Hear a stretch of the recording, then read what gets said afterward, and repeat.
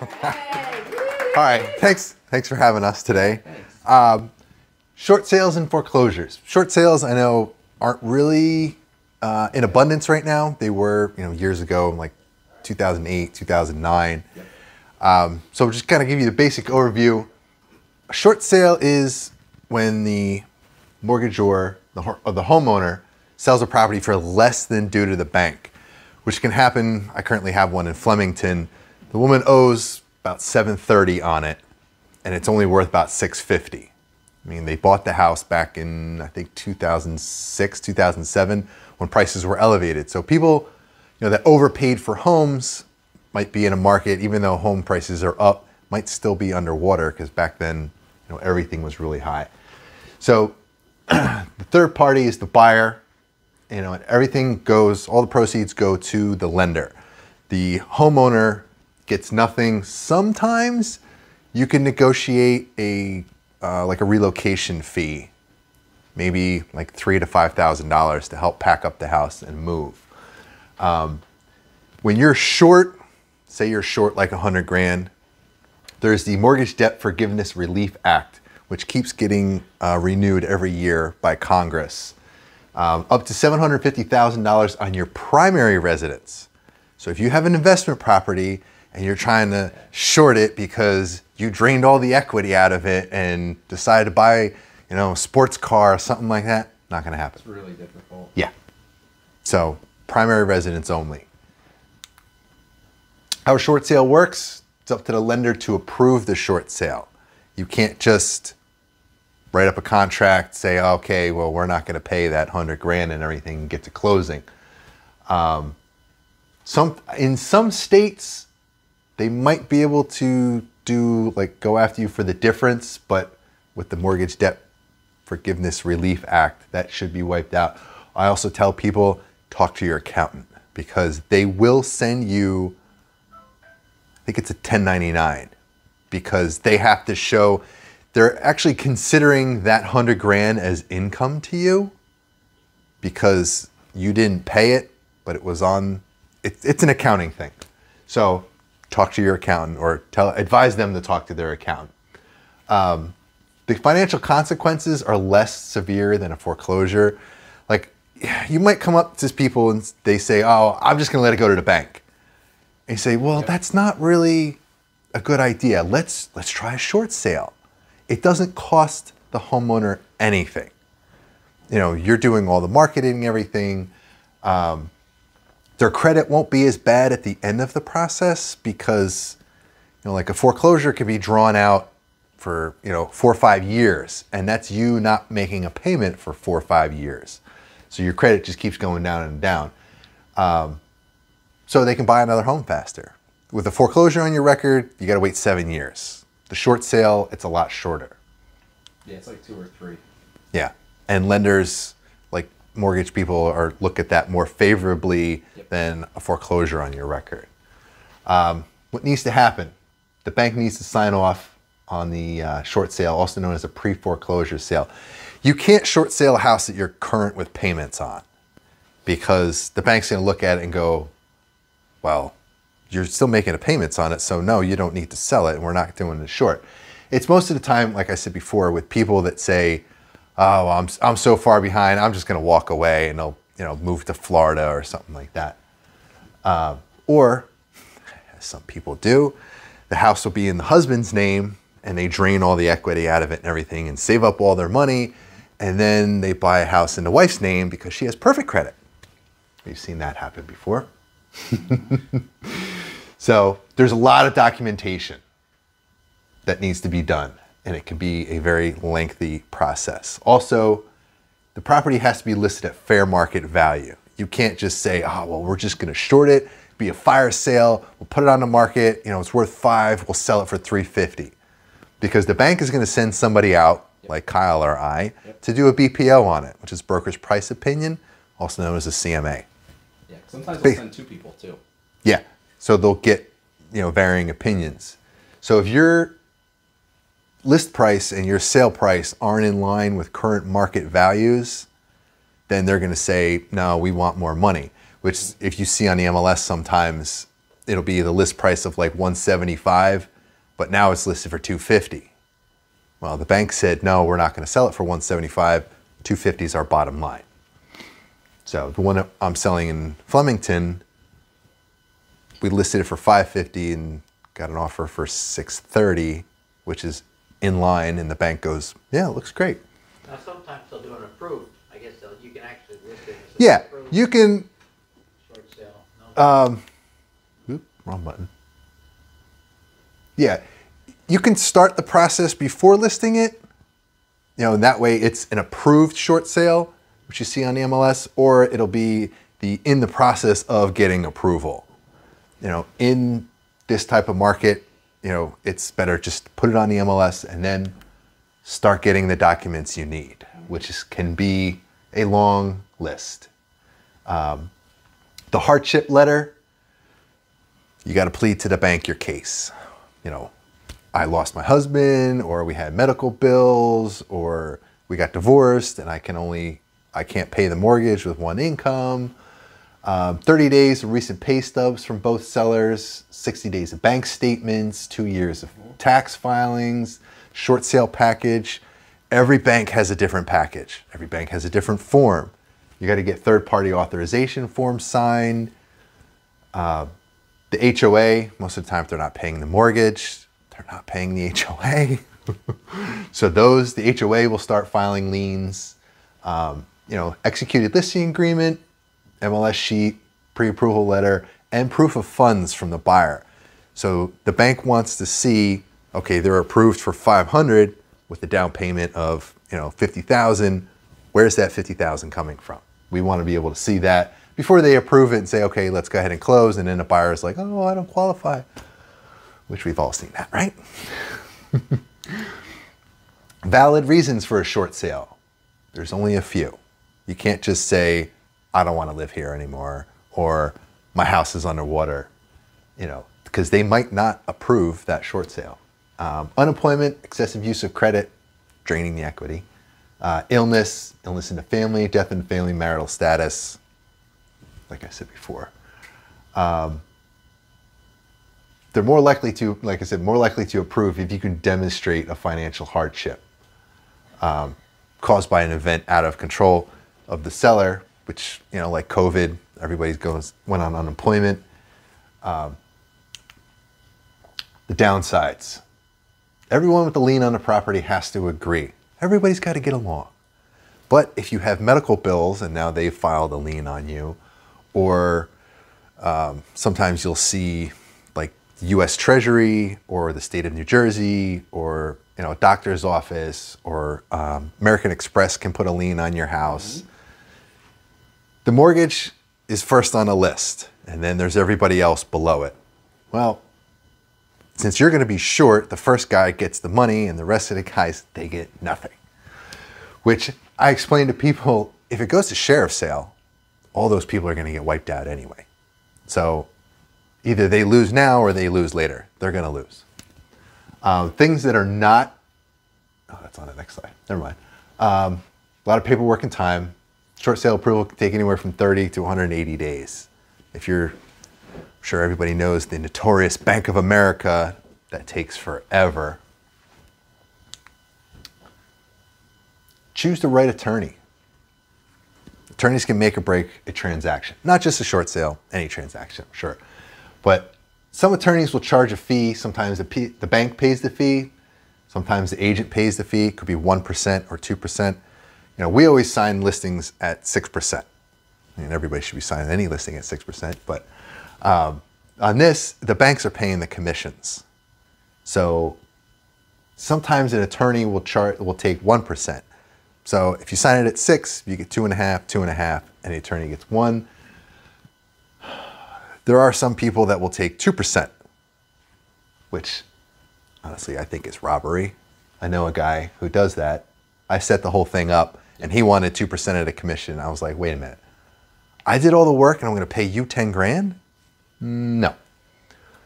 So, yeah, short sale companies out there take part of your commission. Some of those companies will bill the bank, like the attorney uh, that we work with, he bills the bank all the fees and everything. Um, the bank can change the commission since they are technically like the owner, um, which you also see on the MLS, which everybody should put on the MLS. What is split equally. Yeah, any reduction in commission will be split equally between the agents. Because, you know, if you sign it at six and you're keeping three and a half, and the bank says, well, we're only going to pay you two and a half, you know, you could split that with the other agent.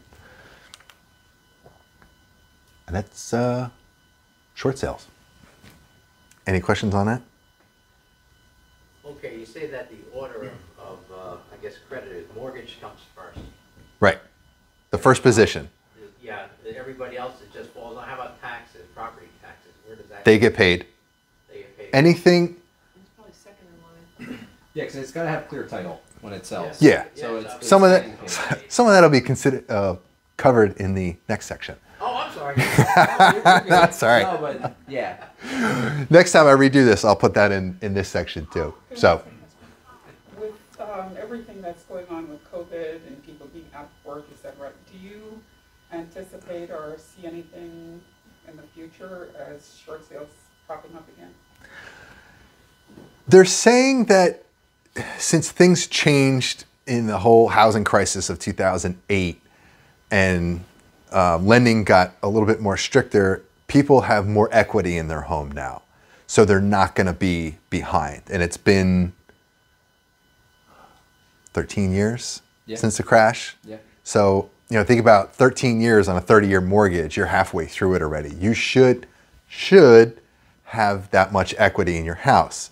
Some people use their house as a cash machine and keep taking money out. Especially when rates are 2.5% last year. Yeah.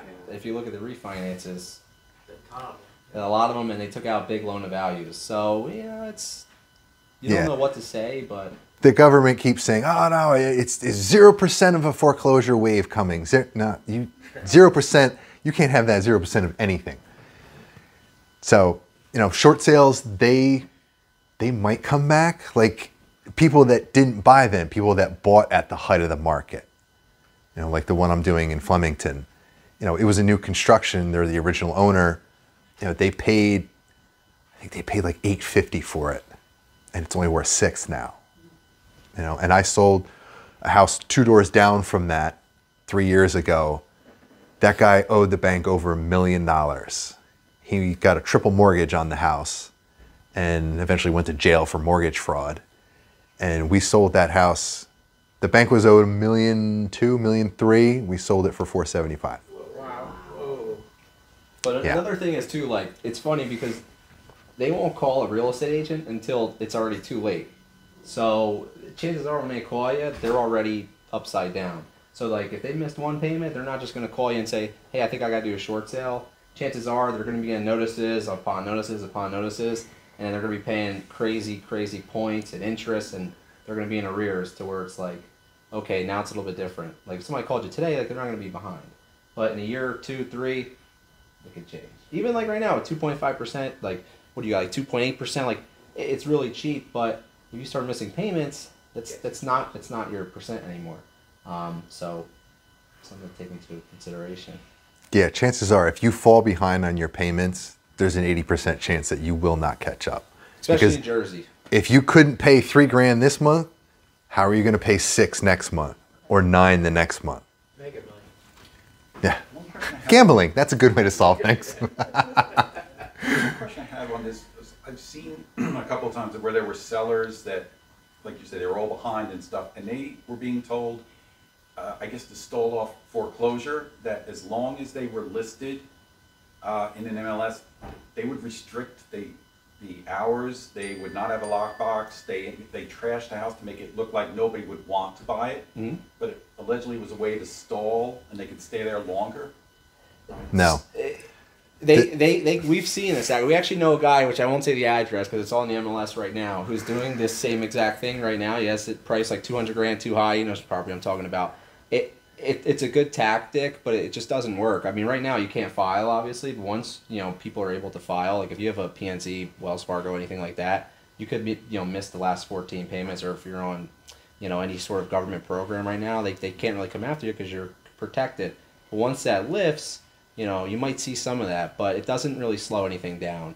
Um, they might say, okay, well, yeah, I'm trying to sell it, but you know, they have so many systems and so many people like us that they'll, they'll call us up. Like he just did one for a two million dollar house. Hey, what's this place worth? They're, they're asking like two point six. And he's like, well, it's worth what'd you say? 1.5. 1.5. So there you go. So perfect example. Yeah. They're not stupid. They got tons of websites that we don't even have access to. And then they got boots on the ground, which is like people like ourselves, you know, giving them values. Like they'll go out and they'll go get five, six, seven values, um, not just look at the listing. So I guess somewhat related to that, that mortgage forbearance that keep extending three months, three months, which I think is the end of June. Yep. right now, If they yeah. don't renew that, or maybe give it one last shot, isn't there like gonna be a group of people that all this time they've not paid in those properties, some of them will come to the market? That that's where people are saying there's going to be 0% wave.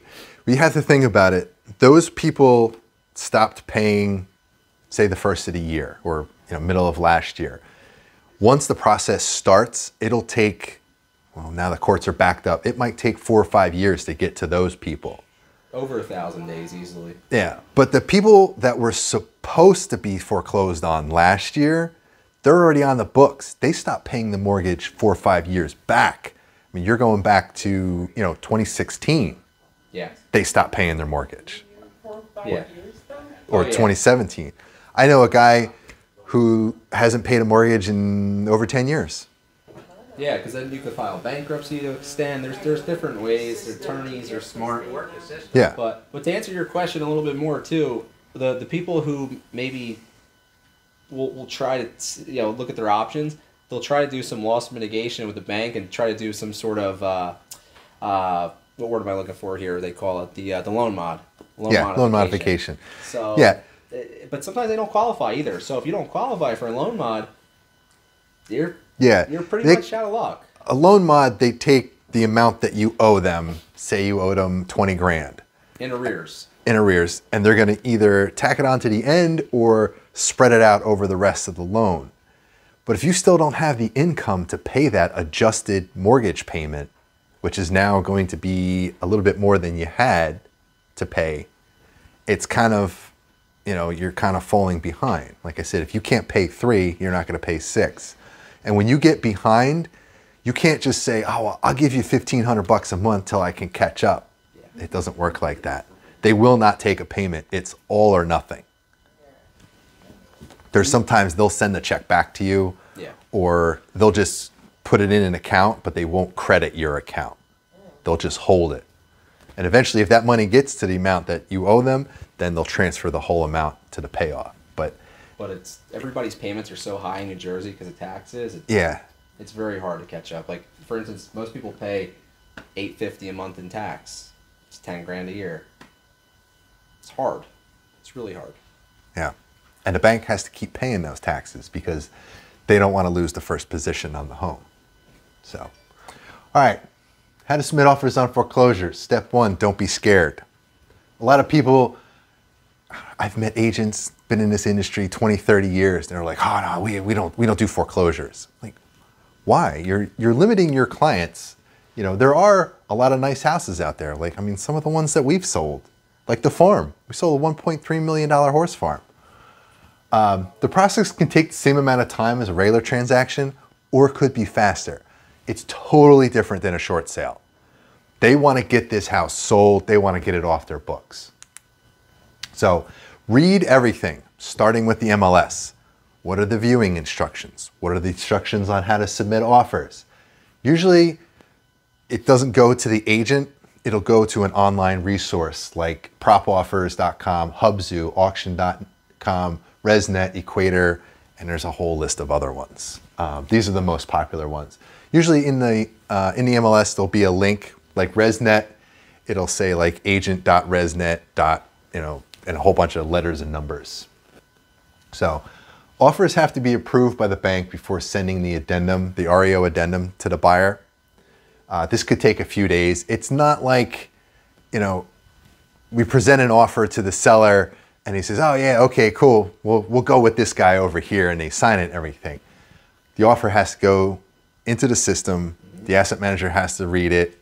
They have to send it up to the investor, which could be like Goldman Sachs or Wilmington Savings Trust or a hedge fund or something else, that person has to review it and see, you know, look at the file, see if the value's there, and then get back and say, okay, you know, we approve this one.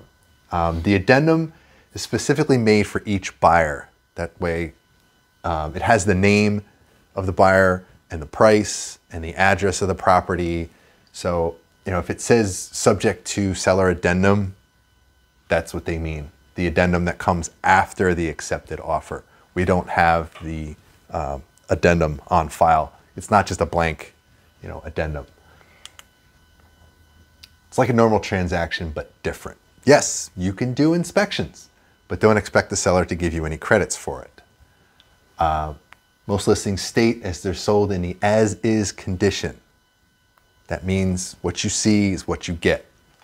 Um, you can do an attorney review period like a regular transaction. In other states, like my sister's an agent in Virginia, she said they don't have attorney review. You sign a contract, that's it, you're locked. So New Jersey's actually pretty good in that. Um, we did have an attorney, which goes along with choosing the right attorney, um, who tried to tell us this was different, but um, you will not lose your EMD, aka the initial deposit. In REO, you know, I know it says on a contract initial deposit, which is usually $1,000. In REO, you have to make it 1% of the purchase price or more. So if you're buying a $500,000 house, you got to have a $5,000 uh, EMD. Don't make it a crazy number like $50,000 because um, it's, it's really unnecessary. Um, in New Jersey, it's called liquidated damages. We can't keep it, and most attorneys should know this. Some of them don't. Um, I don't know why they advise their clients otherwise. Um, other states, they can keep the EMD, which I've talked to one of our SVPs, and he's like, I want to keep the EMD. And I told him, I said, You can't. Why not? I said, It's the law in New Jersey. If I was in Pennsylvania, I don't know what the law is there. Maybe you could. He's down in Texas. Maybe you can there. In New Jersey, they can't. Uh, be aware of timelines. The inspection timelines start from the time the seller signs the contract. It doesn't start after attorney review. And it doesn't go by business days, it goes by days. So if they say seven days and I sign a contract today, you have seven days from today. And they're not really concerned about the mortgage uh, commitment timeline. Goes along with choose the right attorney.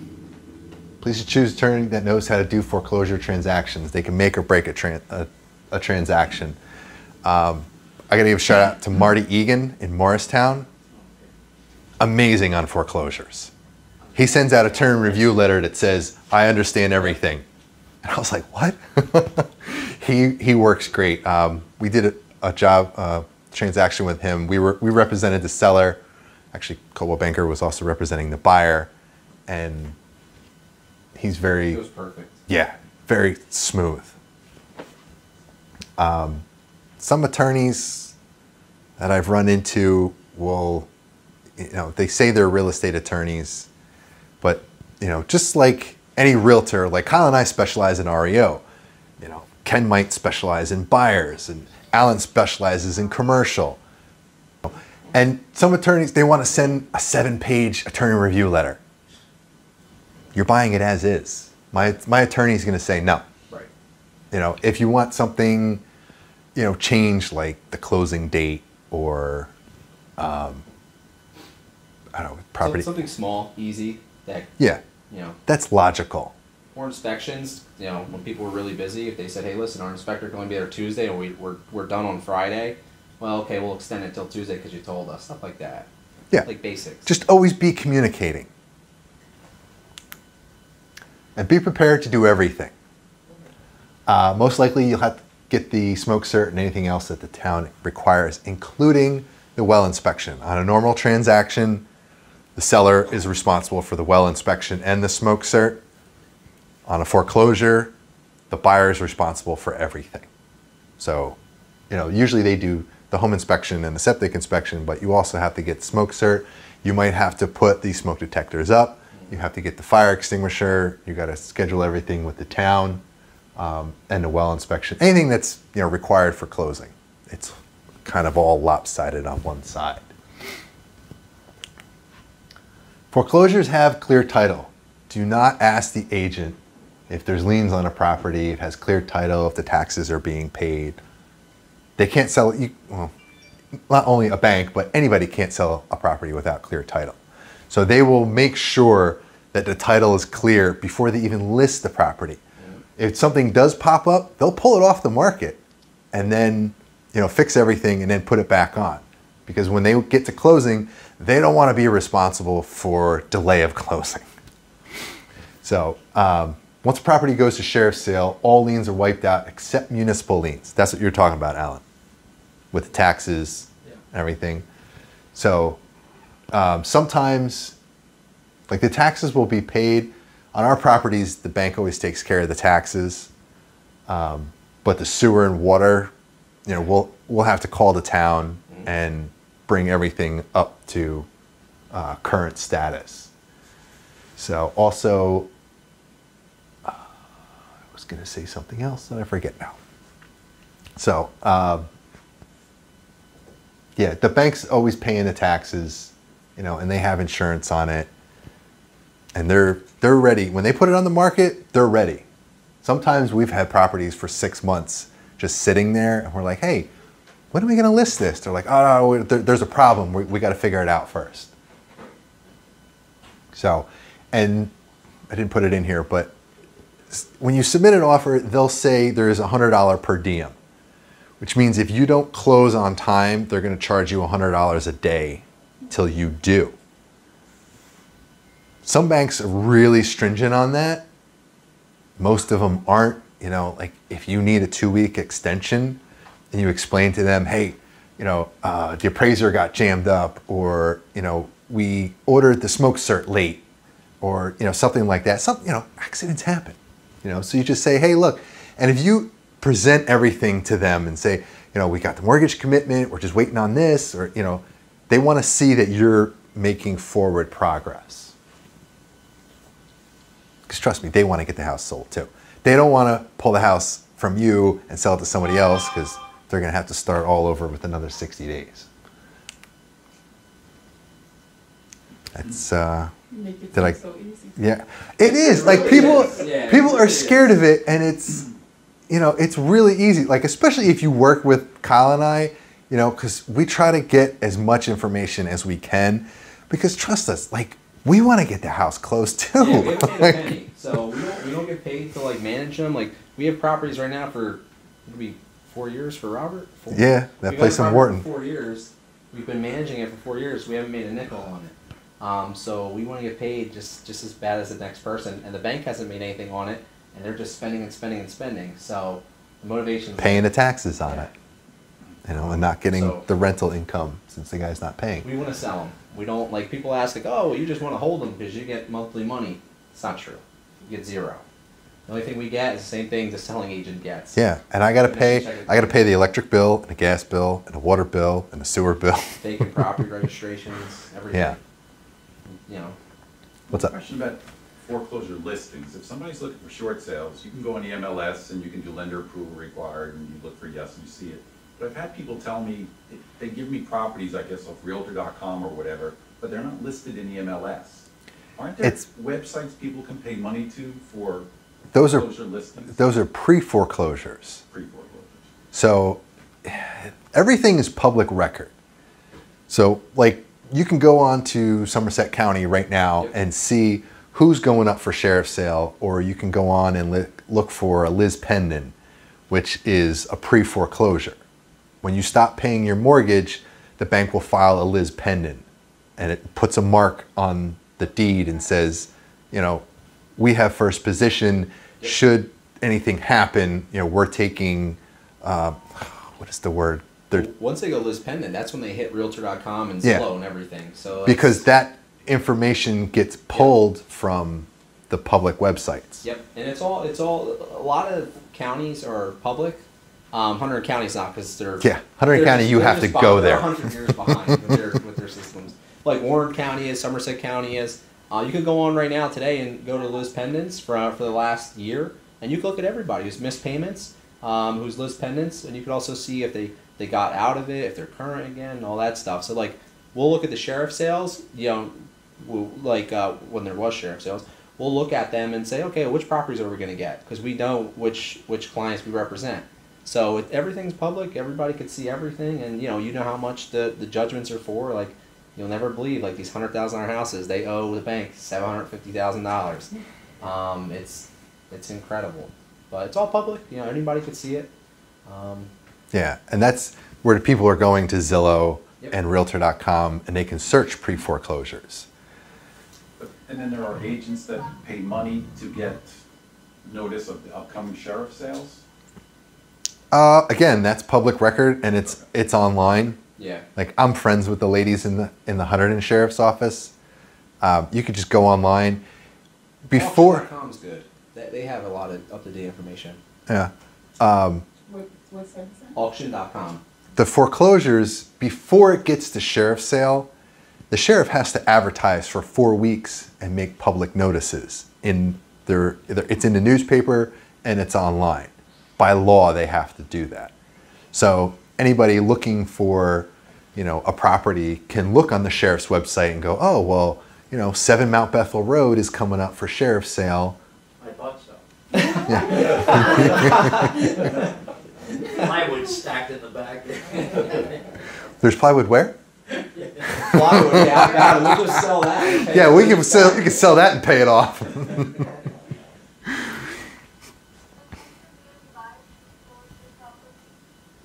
Can you turn that up? I can't. Uh. The volume. Let's see. Or just ask. Hi, could you repeat the question, please? You can, and it's it's kind of like I've, I've been telling agents for God months now, or probably years. You know, with inventory being so low, you know, and your buyer's like, hey, I want to live in this neighborhood, in this, you know, in Bridgewater or something like that. Print out the pre-approval letter, go knock on the door, and say, hey, you know, have you thought about moving? You know, I have a I have a qualified buyer right here. I mean, you're not just randomly door knocking. You're saying, hey, I have a guy, and sometimes, you know, I've I did it with a buyer uh, two years ago, and a guy's like, yeah, you know what? I I think we do want to sell. We looked at the house. Turns out my buyer didn't like it, but you know, it doesn't cost anything, and it shows your buyer that you're out there, you know, Proactive. being proactive. Yeah, and, and, and to answer that too, just because they're pre foreclosure, that just means they're not paying the loan. So let's say they have a half million dollar house, they might only owe fifty grand. They're just not paying on it. So you can still go out and buy it, title still be clear, stuff like that. But more times than than, than none, chances are it's going to be a little sticky. You know, they're going to have a, a ton of loans. They're going to have possibly liens. Um, so you just got to make sure it goes back to having the right attorney. Um, you know, you need an attorney that can navigate that stuff because it's it's not like your your typical you know straight line transaction where it's like okay, here's the offer, inspections, appraisal, you know, we're closing. It's going to be a lot more work, but uh, it's still possible, but just a little bit more difficult. And you Yeah. can provide us with a list of attorneys perhaps?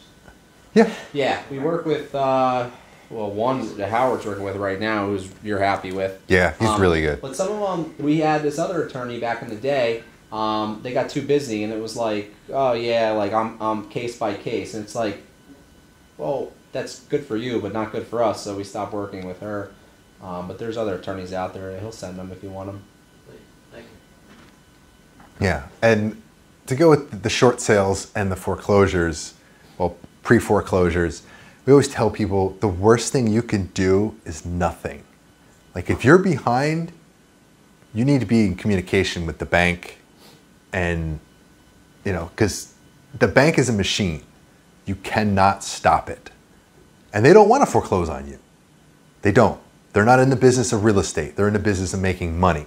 Because a lot of times they'll, like this house in Flemington, you know, they don't know when sheriff sales are going to open back up. So if you come to them and say, hey, you want to get this off the books now? They'd be like, yes, okay, let's work together. Yep. You know, they're not, they don't have to carry it anymore. They don't have to pay the taxes on it anymore. And a house will depreciate you know, 10% every six months just sitting there deteriorating. Yep. Yep. You get mold. You get anything coming in. You get stolen copper. I mean, you get everything. Yeah, it's bad. Pipes break. You know, floods. You start getting fines from the town because you're not mowing the lawn. Yep. So it gets sticky, and they they got to go hire a preservation team to take care of the property. But somebody's still living there, halfway in, halfway out, they're not going to do it. So uh, you lose your equity quick.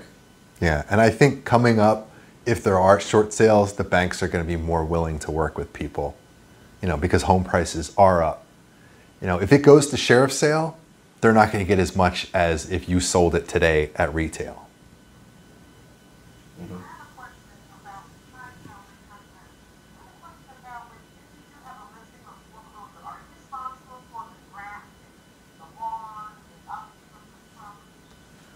It it it. It it depends, depends. on on the client. She asked if you're responsible for the grass and everything. Most clients of ours have a property preservation company. Yep. Could be Safeguard, Service Link, uh, Guardian, any one of those, um, and they're responsible for mowing the lawn. Yep. But as you know, as the agent in charge, we have to make sure that they're doing their job because sometimes they don't do their job. Yep. And smaller clients, they'll just have us hire uh, local landscapers. Like we had a property that was 70 miles away from here. We didn't know anybody, um, so we just hired some one of the neighbors. He lived like behind the property, and he cut it every two weeks and sent us the pictures, and we sent him a check. So all depends, um, but more times than not, um, usually they have a preservation team. No, no. The the bank does. So they, they have a basically a service contract with them, and they, they take care of all that. But uh, Howard does all the paying, and he pays. I mean, it, it, it's a lot. Uh, he pays gas bills, water bills, liens. I mean, you name it, he's paying it. Sewer Um, bills. Sewer bills. I mean, I don't want to tell you what he spent the one year, but um, it if I told you, you wouldn't believe us. Yeah. But you get that money back from the bank. Yeah, but but you get it back. So it, he Yeah, is paying but it, it- but it still comes out of. It could be, account. you know, 30 days, 60 days, 90 days. There was a client of ours that owed me a little over $30,000. And they said, Oh, you got to go down to Plainfield and pay this $6,000 sewer bill. And I told them, No, no, not doing that. I said, You owe me. I said, You pay the sewer bill. You get a lot of miles on your credit card. Yeah. Well, I have, an, I have an Amex, I have a Hilton Honors Amex card, so we get free hotel rooms for my business. Anything that I can put on the Amex, I do, and then you know, because it, gets it gets paid. Yeah, he loves fast. when he's got to pay the oil bills or the propane bills. Yeah, they're filling it up today. Great. 500 bucks right there. But yeah, it's really like capital intensive. But as a selling agent, you don't care. Um, Yeah, you know. just don't be scared of the foreclosures. I mean, and you know, if you have an offer on one and the agent is not being responsive, which, you know, it could be any agent anywhere. Uh, you know, you could call me and you know ask, hey, what do I do here? You know, how do I push this along? You know, it's also with the with the attorneys. So, and they're saying that there's going to be a zero percent chance of a wave, but it's it's going to happen. And when the sheriff does open back up, hopefully in June, the end of June, beginning of July, um, stop it. I told you to be positive. Um, I'm the positive one. Uh, there's going to be a wave that comes, and I think I personally think with the buyer demand that's out there, they will disappear so fast and it won't affect home values at all. You know, they'll get swallowed up. And I was, we just watched that uh, the RE/MAX seminar last night, Yeah. and they were talking about that. They're like, you know, without the foreclosures on the market, that's also hurting the inventory because usually there's a steady stream of foreclosures. You know, because it's it's an ongoing thing. Like you know, people get divorced and they can't pay, you know, and then eventually they lose the house or medical bills or, you know, it happens all the time. You know, we say bad things happen to good people all the time, but you know, we're here to help with the short sales and you know the foreclosures. But I think it'll be I think 2022 and 2023. I mean, because you got to think, like, I live in Hunterdon County, and there's about five sheriff sales a week. So, you know, you're looking at 20, 20 a month times 12 months. That's 240 homes just in Hunterdon County in a year. You know, but you move into like Somerset County, Middlesex, Union. I've been to the sheriff sales in Middlesex and Union. They've gotten so big they're not even at the uh, sheriff's offices anymore. I think Union is in the auditorium across the street. Middlesex has moved down the road to the Elks Club. I was at Union, God, probably three years ago, and I counted 65 people standing in the room. They were just they were lined around the room. So they are very popular, and when they come back, there's going to be people trying to spend money buying houses. They have money to spend. Yeah.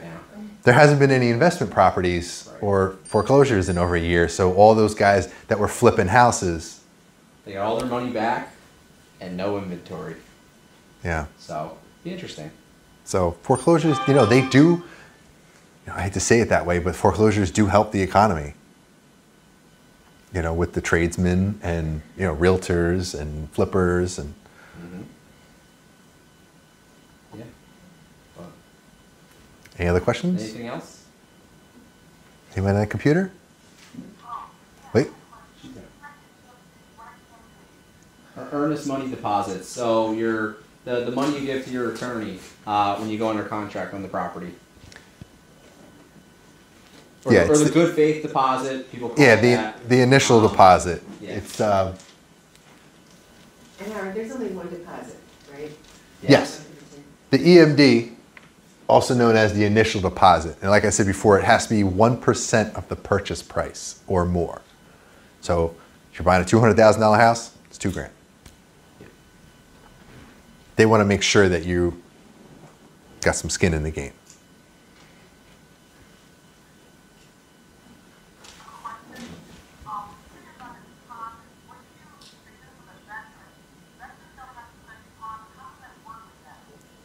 Uh, it actually gets credited back to them at closing. Because two years ago, uh, I had a veteran, eh, well, yeah, he was a veteran.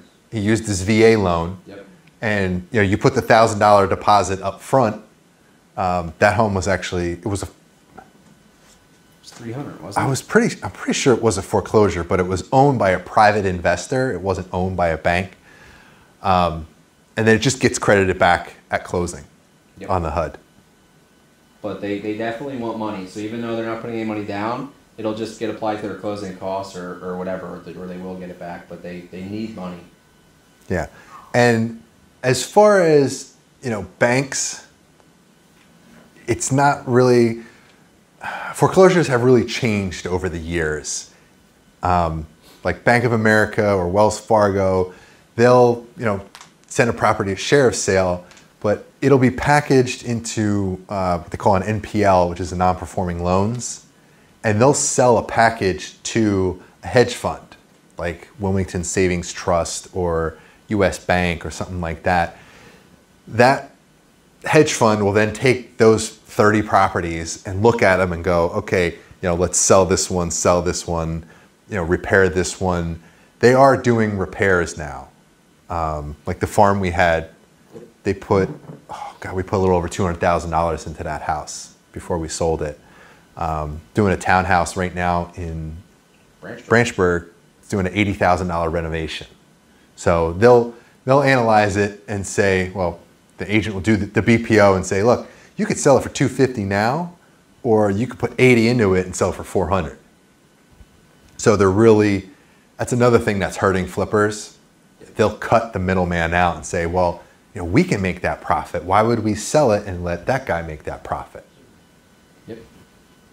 So they're becoming, you know, more aware and making. It's not like years ago they were just like, you know. Yeah, cut and run, just dump this property, whatever we can get for it. They they analyze properties a lot, and you can't go in and try to lowball. You know, they know what the property's worth. They they've had, Yeah. you know, five, six people out there to tell them this property's worth this much. Yeah, you got to realize that the lien holders, so like the PNC Bank or Wells Fargo, they already lost at sheriff sales. They recovered their money. Now the people like at least that we represent is they bought this as an investment. I mean, they could spend upwards of a billion dollars on one portfolio with X amount of houses and all over the, the country. And then if they paid a billion, you know, they have their preferred return. They might want to make ten percent on the portfolio or twenty percent. So that's why they're all about the numbers, and uh, that's why even though it is a foreclosure, you don't really see them being blown out like Howard said. Like if we have something listed for three hundred, they're not going to accept two and a quarter. Um, they they're just too smart nowadays. So